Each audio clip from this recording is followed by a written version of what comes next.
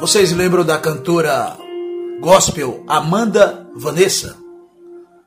Jovem cantora que infelizmente sofreu um acidente há quase dois anos atrás. E enfim, muitas notícias, fake news, até sobre as celebridades que estão carecendo justamente de orações, de rezas. Eu vejo com muita tristeza, mas é uma realidade. Eu falo como cidadão, como ser humano mesmo, mas principalmente no lado profissional, como radialista e jornalista, a quantidade de subcelebridades que são expostas, às vezes, muitas das vezes, por elas mesmas. E acaba prejudicando justamente quando a notícia é real, é verdadeira. E principalmente também quando essas pessoas, as vítimas, carecem de conforto espiritual, de rezas, orações. E o nosso noticiário aqui, vocês percebem que é diferente de todos. É notícia comentada. Fundo musical de acordo com a notícia. No finalzinho dessa notícia, nós vamos apresentar uma das canções dessa extraordinária e jovem cantora da linha gospel, Amanda Vanessa, que já estourou com várias canções. Uma cantora muito famosa no seu segmento. Bom, vamos lá. A equipe da cantora gospel Amanda Vanessa divulga o relatório assistencial da artista e nega os boatos de impedimento de visitas. A cantora que está em internação domiciliar desde janeiro deste ano, após sofrer um grave acidente de carro em 2021. Tem os, os esclarecimentos aqui, ó. Trazendo os esclarecimentos acerca do estado de saúde de Amanda Fran Vanessa, segue o boletim médico. Conforme o documento apresentado, a situação dela ainda exige cuidados especiais. Vale ressaltar que o fato dela ter sido transferida da clínica para o tratamento domiciliar não significa que todas as normas de visitação e circulação não devam ser seguidas. Isto é, em hospital ou clínica e ou clínica existe horário para visitação e permanência no leito da paciente. Inicia o texto, que eu acho muito justo. Muitos boatos, como eu disse. Rádio Estação Imprensa, Canal Estação Imprensa, jornalismo independente e sério. Continuamos. É importante esclarecer também quanto às calúnias trazidas a público por parte de alguns parentes da cantora, que por diversas vezes foram advertidos pela equipe médica das normas elencadas acima. Contudo, se faz necessário estabelecer dias, horas e quantidades de pessoas para visitação ou acompanhamento. Apesar de todo o transtorno suportado pela família, o esposo da cantora não impede o acesso dos parentes, a cantora e a sua esposa. No entanto, devendo-se por eles obedecidas as orientações médicas, diz o post. Por fim, você que não está inteirado sobre a notícia, Vamos à memória, às acusações. A irmã da cantora, Amanda, Daniele Mendes, acusa o marido da cantora Dobson Santos de impedir contato com a artista. De acordo com Daniele, em entrevista à revista Quem, Dobson teria deixado uma ordem expressa na portaria do condomínio em que ele mora com a cantora gospel, proibindo a entrada da irmã e de outros familiares de Amanda, como os pais, José Odilon da Silva Filho e Helenilda Mendes da Silva Mãe. Tudo será esclarecido na justiça. Com certeza são falsas todas as acusações, disse Santos. Quer dizer, a gente percebe aqui que o marido está baseado né, em um verdadeiro relatório né, e ele deu essa declaração à revista Quem? Da Globo. Agora eu, leio, é, eu vou ler para você o relatório médico na íntegra. Paciente, 35 anos. foi admitida na internação domiciliar em alta complexidade, 24 horas de enfermagem, em 5 de janeiro de 2023, procedente da clínica Florense. Após hospitalização prolongada, foi encaminhada para a clínica Florense em outubro de 2022 para seguir procedimento de reabilitação. Ela permaneceu até o dia 4 de janeiro de 2023 deste ano. Em 5 de janeiro de 2023, foi transferida para Homencari da Internet Soluções em Saúde, uma empresa para internação em alta complexidade. Desde a admissão da paciente, vem evoluindo com estabilidade clínica, metabólica e hemodinâmica, sem relato de intercorrências ou agudizações clínicas. No momento, segue acamada, em coma vígil, normocorada, a cianótica, com dieta interal industrializada por gastrostomia, com boa aceitação bom padrão respiratório, respirando em ar ambiente sem acesso venoso, com quadriplegia. MSE em extensão e pés esquinos, com quadro disfágico de origem neurológica, reflexo de deglutição alterado, aspirando VAS ou VAS se necessário, em uso de medicações por via enteral, com eliminações fisiológicas em fralda. Paciente com quadro clínico neurológico, perdão. Paciente com quadro clínico neurológico grave, porém evoluindo em instabilidade clínica sem apresentar flutuações significativas do quadro clínico. Apresenta indicação de manter terapias domiciliares, que seria fisioterapia, fonoterapia terapia ocupacional.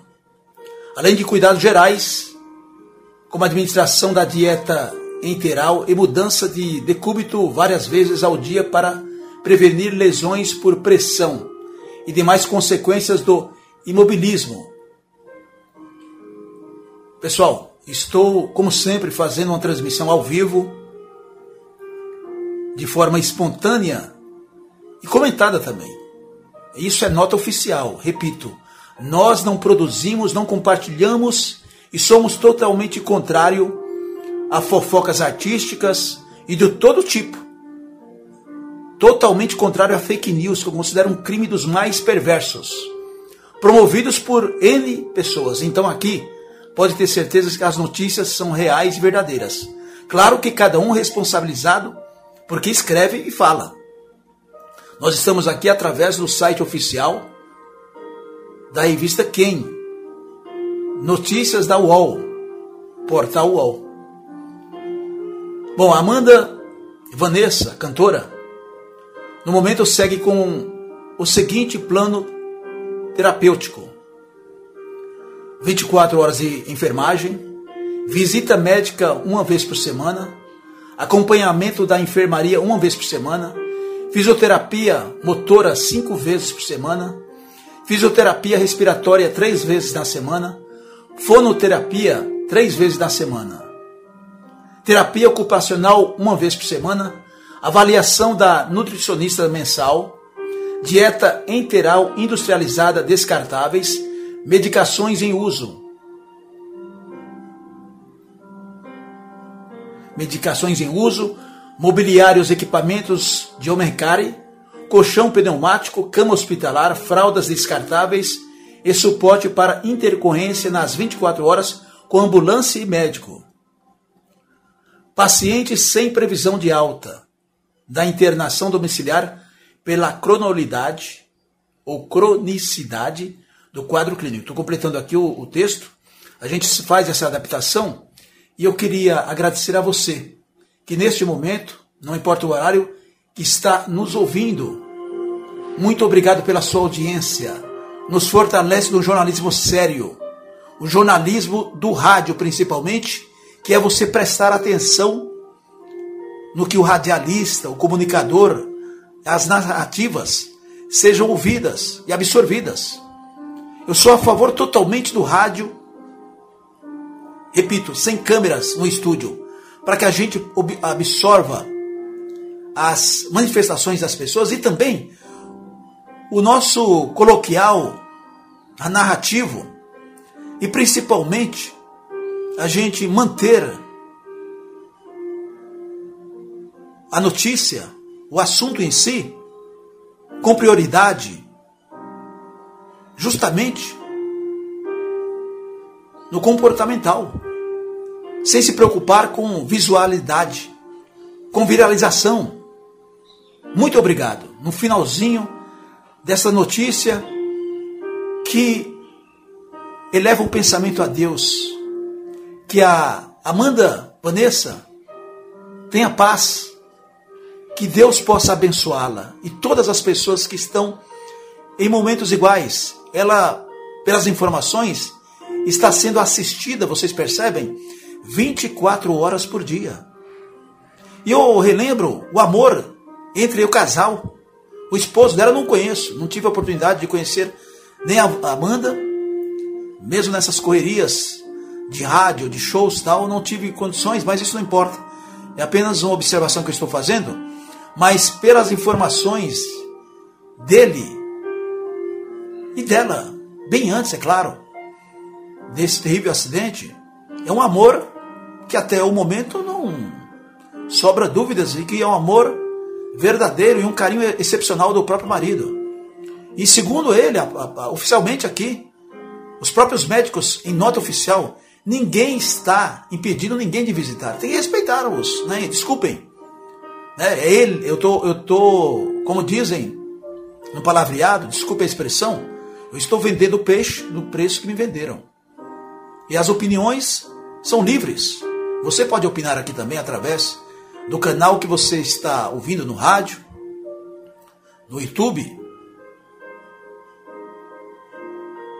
E você que está nos ouvindo não conhecia a cantora, não teve oportunidade de ouvir uma das suas músicas, um talento excepcional, que através das canções, ela elevando as palavras de Deus na mente das pessoas, que é justamente ser feliz, vida vida e vida. Deus, nosso Pai, nosso Criador dos céus e da terra. Uma bênção especial para nossa querida cantora, mas principalmente filha de Deus. Que ela tenha todas as bênçãos e tenha, e tem. Passou por situações adversas, ainda carece de saúde.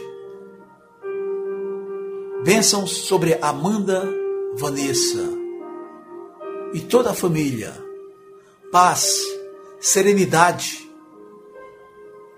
pensamento voltado. Todo mundo, pensamento voltado a sua a seu restabelecimento total no tempo de Deus.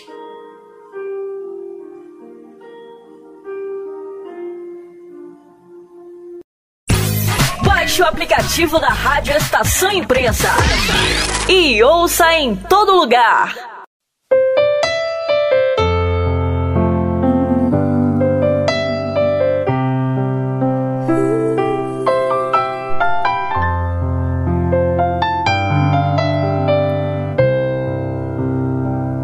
Tá chorando porque se você tem cuida de você oh, e jamais te esqueceu. Ele sabe de tudo que você está passando e mandou te dizer que ele está cuidando. Lembrar de onde você veio e aonde que você chegou Lembrar de todos os livramentos que você já passou. Nem era pra você estar aqui, mas Deus falou assim: Esse aí vou levantar. onde colocar a mão eu vou abençoar.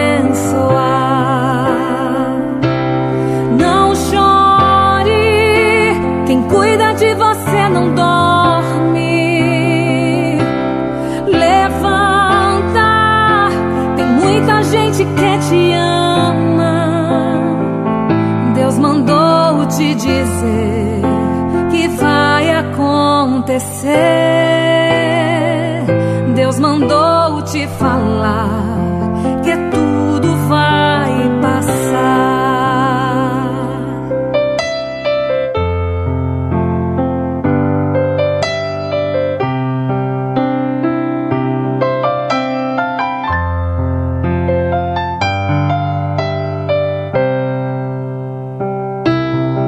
Lembrar de você veio e aonde que você chegou.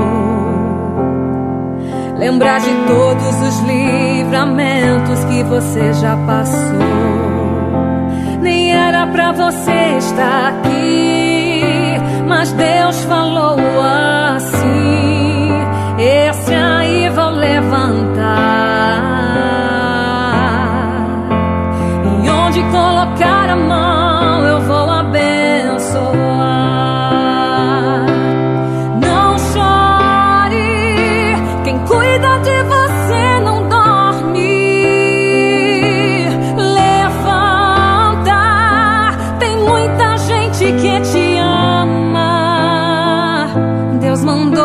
te dizer que vai acontecer.